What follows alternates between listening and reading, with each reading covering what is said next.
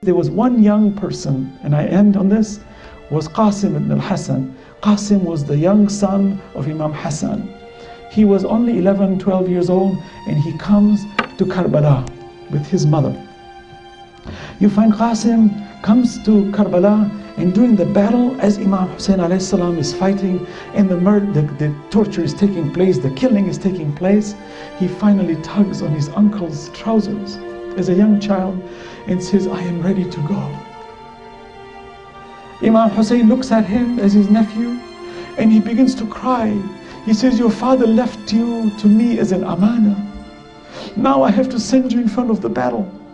Imam Hassan had told him that when this scenario comes, don't deny my son this honor to rise in the honor of fighting for Allah subhanahu wa ta'ala. This is Ahlul Bayt. A 12 year old, those of you who are 12 years old, 11 years old, take heed, brothers. Don't follow the satanic ways. Follow Qasim ibn al-Hassan. He says to Imam Hussein, he says, death to me is sweeter than honey.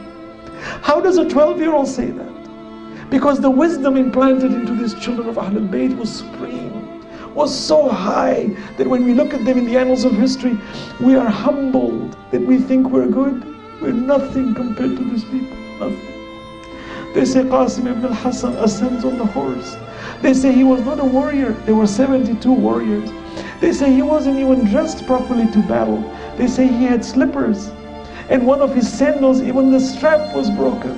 That as he, as he went towards the battlefield, as Imam kisses him goodbye and sends him towards the battlefield, the enemies say, we see this Qamar Bani Hashim, we see a little moon coming toward us with a sword. He says, I am here to protect the religion of my grandfather. They surrounded Qasim ibn al-Hassan and they struck him. One of them came and struck him on the head.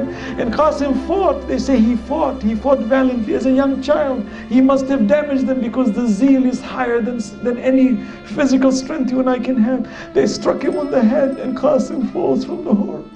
He shrieks. He calls out, Ya my uncle, come and help me. Imam Hussein comes running towards Qasim ibn al-Hassan.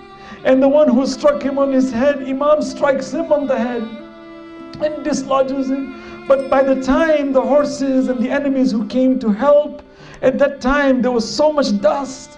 When the dust settled, that enemy who killed Qasim was trampled by the horses, but the Imam saw this beautiful young body under his feet. And he looked up, he said, oh Allah, I accept this tragedy.